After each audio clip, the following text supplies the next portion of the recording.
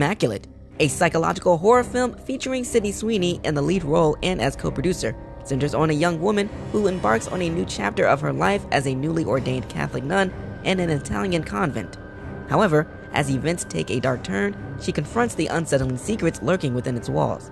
The film made its debut at South by Southwest, receiving a range of reviews. Interestingly, it finds itself juxtaposed with The First Omen, a prequel to the Omen series, as both narratives revolve around immaculate conceptions. With a runtime of 89 minutes, the audience is left to ponder whether this conception is truly divine or harbors something far more sinister.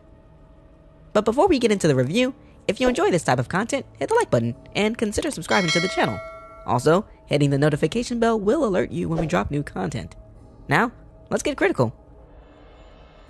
The story begins with Sister Mary, driven by a desperate bid for escape from her Roman Catholic convent, stealing a set of keys belonging to a superior, only to be ambushed and buried alive by hooded assailants.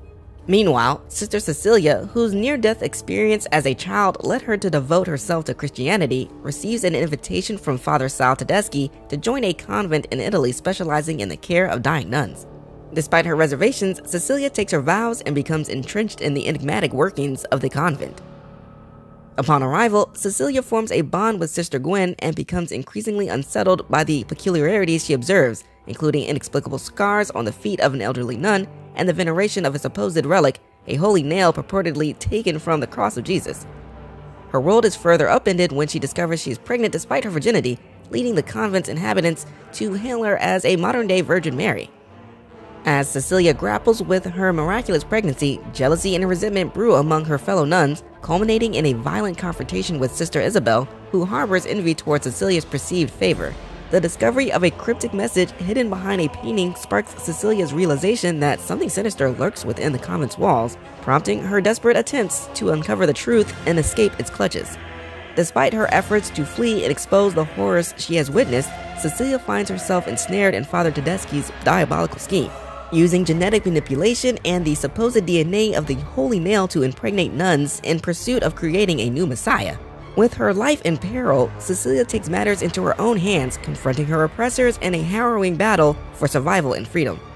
In a climactic showdown, Cecilia confronts Tedeschi and his cohorts, resorting to extreme measures to thwart their heinous plans.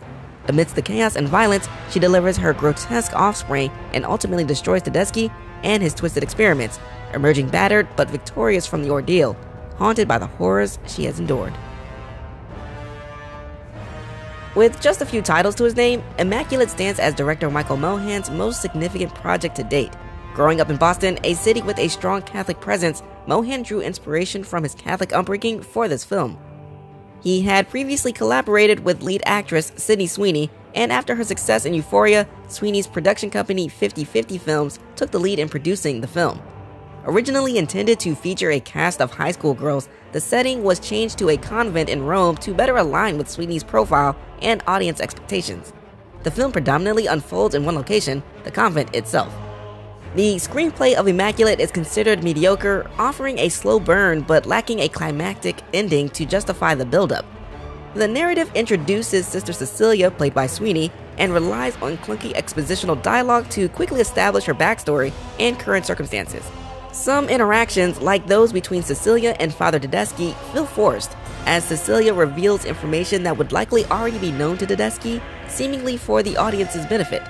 Despite attempts to build tension and create a haunting atmosphere, the film struggles to provide a clear depiction of the convent's nature.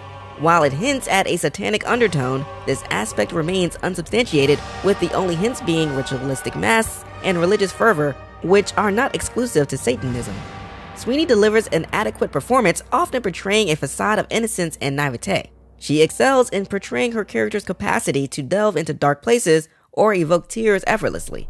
Her depiction of giving birth is commendable, although lacking the raw, primal essence that only a mother who has experienced childbirth could truly convey.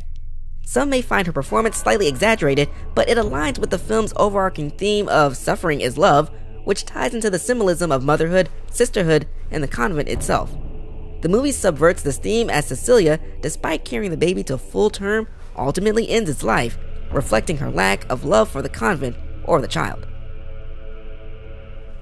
I believe the movie could have been significantly improved by providing more backstory or insight into why Cecilia was chosen beyond just her DNA.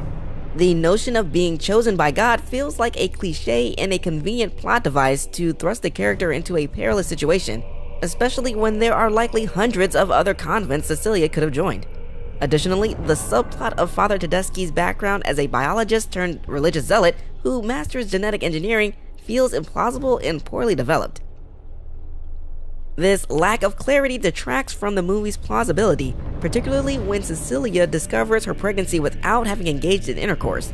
Her immediate acceptance of this without considering the possibility of in vitro fertilization seems unrealistic. Furthermore, it's difficult to believe that Sister Mary and Sister Gwen were the only ones over the 20 years aware of the sinister happenings in the convent. It's likely that other nuns may have suspected or attempt to expose the truth only to meet untimely ends. This raises questions about the involvement of the Roman Catholic Archdiocese and whether they are aware of and condone the activities of the convent, or if the convent operates without oversight.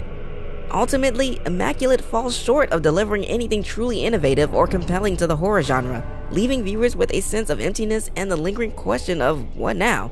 There are no resolutions, no consequences, it just ends. Given these shortcomings, I would give the film a critical rating of C minus. doing out here? Don't you want to dance? Sure. I'm just a prom night dumpster baby.